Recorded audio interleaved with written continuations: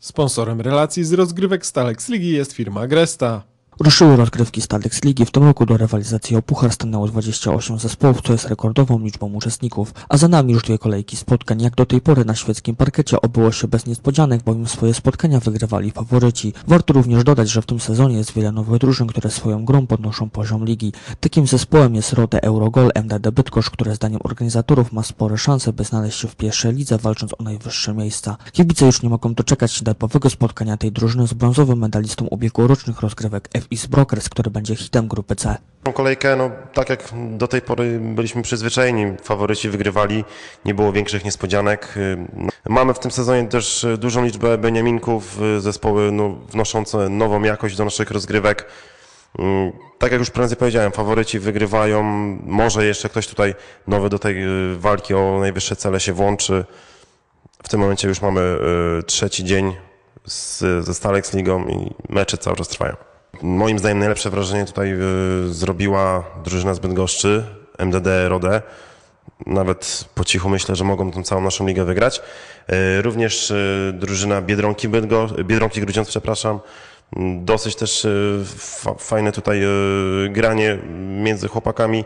No i powracający do, do naszej ligi zespół Unisław Team. Faworyci, jak sam mówiłeś, nie zawodzą, gładko wygrywają swoje spotkania. Czy już teraz można jakby powiedzieć, któryś z tych, z tych drużyn jest w stanie już takim wyraźnym faworytem? Czy dopiero podział na ligi, a konkretnie pierwsza liga pokaże, który z tych zespołów ma tak naprawdę szansę, by zwyciężyć w tym sezonie? No na ten moment na pewno wszystkie drużyny się jeszcze tak docierają. Jakieś tutaj ewentualnie rekordy indywidualne mogą, mogą paść ale taką prawdziwą grę to oczywiście zaczniemy już po podziale na ligi pierwszą, drugą i trzecią, tak samo jak było to mm, w zeszłym roku, także też na pewno nie zabraknie niespodzianek w tych, w tych ligach. Oglądanym spotkaniu zmierzyły się drużyny Schumachera Świecie i Hydrokompletu Grudziądz. Mecz wygrali ci drudzy 15 do 5, choć trzeba przyznać, że drużyna Schumachera przez długi czas toczyła wyrównany mecz. Dopiero w drugiej połowie spotkania zawodnicy ze Świecia siedli nieco kondycyjnie, co pozwoliło drużynie Hydrokompletu odskoczyć na kilka bramek i wygrać pojedynek.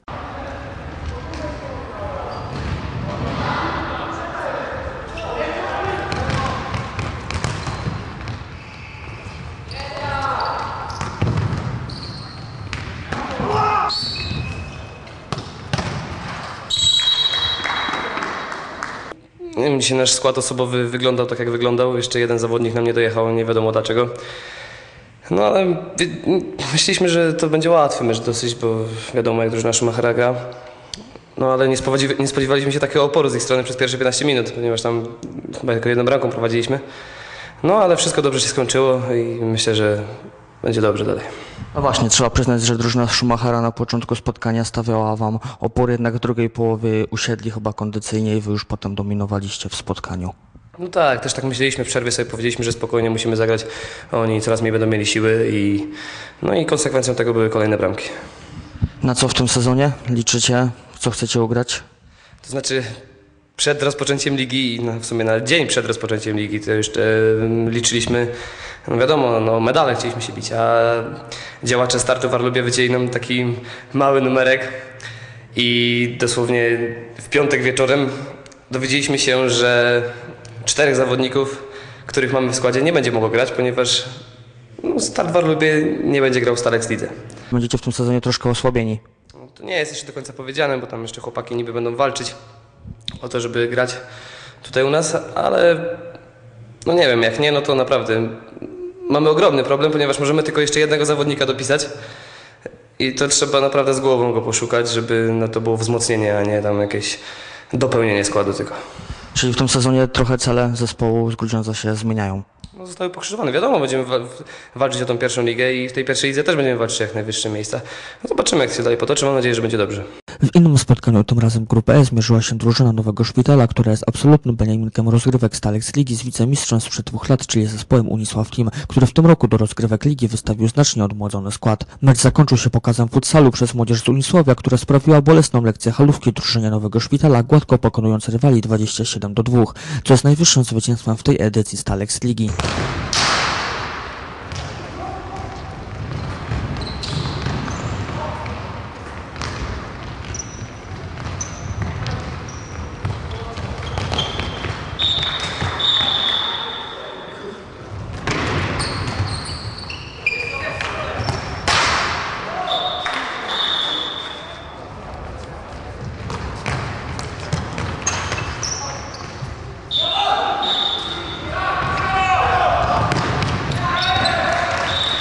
Rozmawiamy z bramkarzem Nowego Szpitala. Niestety po przegranym meczu z Unisławiem nie udało się dzisiaj zatrzymać e, drużyny Unisławia. To jest absolutny faworyt naszej grupy, więc no, ciężko było. My i tak wychodziliśmy z założeniem, żeby jak najmniej bramek stracić. Trochę nie poszło, troszeczkę mało zrozumienia, mało zgrania jeszcze w naszej drużynie, ale myślę, że z czasem się to poprawi wszystko. Dzisiaj chłopcy z Unisławia pokazali wam jednak, e, kto rządzi tutaj na świeckim parkecie. No tak, no oni już i tutaj mieli, byli y, na podium tej ligi, więc my jesteśmy debiutantami tej ligi, więc to też musimy swoje frycowe zapłacić. No Właśnie, debiutujecie w tych rozgrywkach. Co skłoniło was do wystawienia drużyny w Stalex Lidze? Chęć troszeczkę rozruszania się, no, sprawdzenia swoich sił tutaj na tym podwórku świeckim, bo gramy, też są turnieje organizowane przez grupę Nowy Szpital, gdzie występujemy, ale to jest na boisku, więc to też troszeczkę inaczej. Nie? Jak oceniacie poziom właśnie tych rozgrywek?